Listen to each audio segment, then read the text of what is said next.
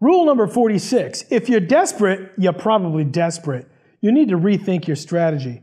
If you're not cool, calm, and collected, you're gonna do your worst. War room, baby, yeah!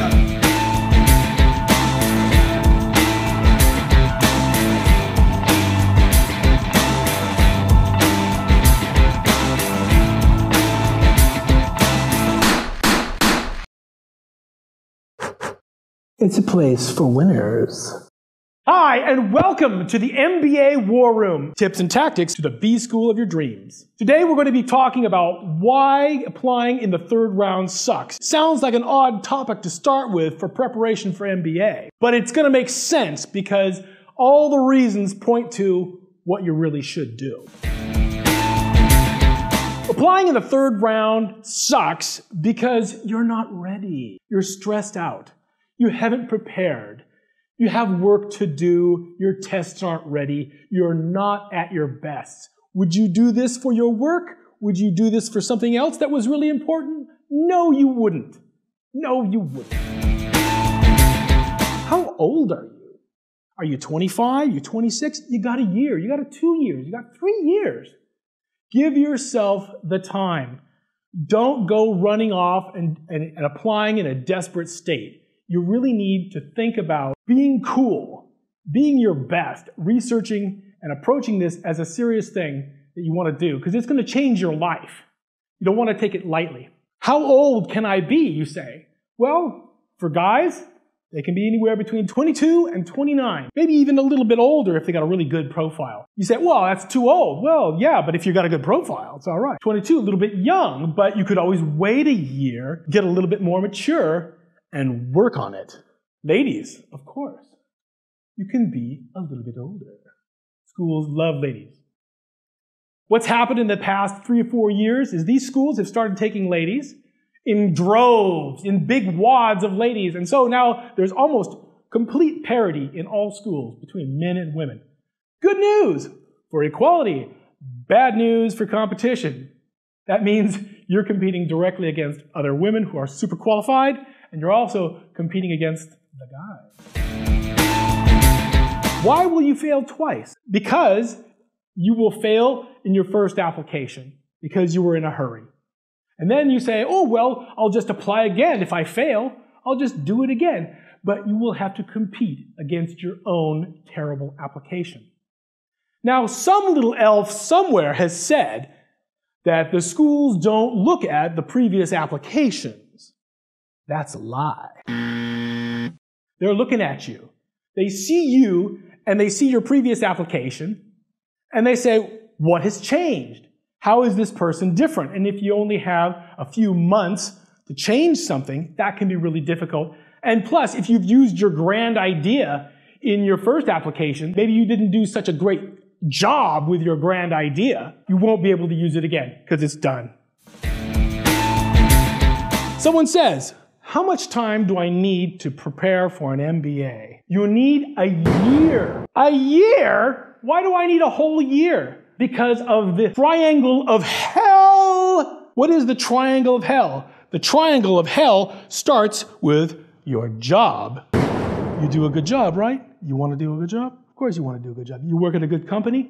You don't want to let them down? That means you pay attention. That means you're doing a good job and you don't want to slack off. So that's pressure, number one. Number two is the test. You might have to take the test a couple times. But I don't want to take the test a couple times. Well, then you take a huge risk. What if I get a score that's no good? Take the test again. How many times can you take? It? Well, if you get a progressively good score, if you start out with a 600, then you get a 650, then you get a 700, you might think, oh, that's too many times. I've taken the test too many times. What the schools see is they see the progress. And the third part of the triangle of hell is the application itself. You're going to want to take some time to do this, and you're not going to want to have the test on your back. Oh, I didn't take the test yet. Oh, I didn't take the test yet. Stress because you can you can do your job and you can apply to the school, but you can't apply to the school, do your job, and take the test. Something will give. In that triangle of hell, the thing that usually gives, not your job, the thing that usually gives is the test or the application. Either one, it's bad news for you. So don't get stuck in the Bermuda Triangle of MBA hell by trying to do work, test, and application all at the same time. Spread it out. Oh, well, I looked at the Financial Times. It was great. There was 10 schools on that list, and I chopped the list in half, and I'm going to apply to the top five schools. That's my research. That's not research. What you want to do is focus on the school that fits for you. If you have a year, you might be able to take a trip. Get out there, get on campus, talk to people. Some people say that if you take a trip to the school, you can talk to someone, make friends, and they'll be your recommender. That's kind of a dumb idea. But being on campus is a smart idea because then you can get a feel for the school, what's going on right there, and you can decide for yourself, hmm, I like this place, the weather's okay, I can handle that. This guy's a bit weird, but that teacher's great.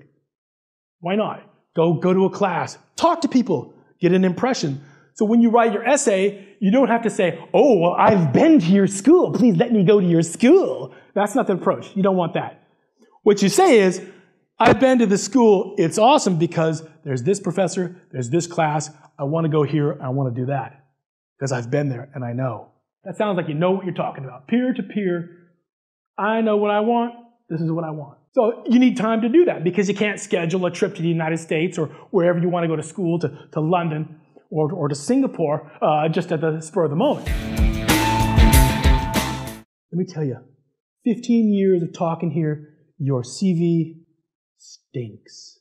You work at a great company, it's a great brand, and then you tell everybody, I'm an analyst, I do analytical stuff, I'm an analyst. I'm an analyst. I do analytical stuff. I'm analytical. Everybody knows that. What did you do? Show me the money. That's what they want to see. They want to see that what you do makes a difference. How much does your employer trust you? Do they entrust you with money? So when your CV is looking good, you've got to, some experience on the campus, you've worked on your, your, your test scores are good because you've worked on your tests, you're ready. Did that take a whole year? Wow, you turn around, it took a whole year. So you're thinking right now, I'm going to apply the second round right now in January. It's four weeks. I'm going to get ready and do it. No, you're not. You're going to fail. What you're going to do is you're going to sign up for the GMAT. You're going to take that GMAT and see what kind of score you got. And then start planning for next year. That's what you're going to do. I'm Thomas Hulbert. Stay tuned for more tips and tactics here at the MBA War Room. Don't forget to subscribe, man. Do it.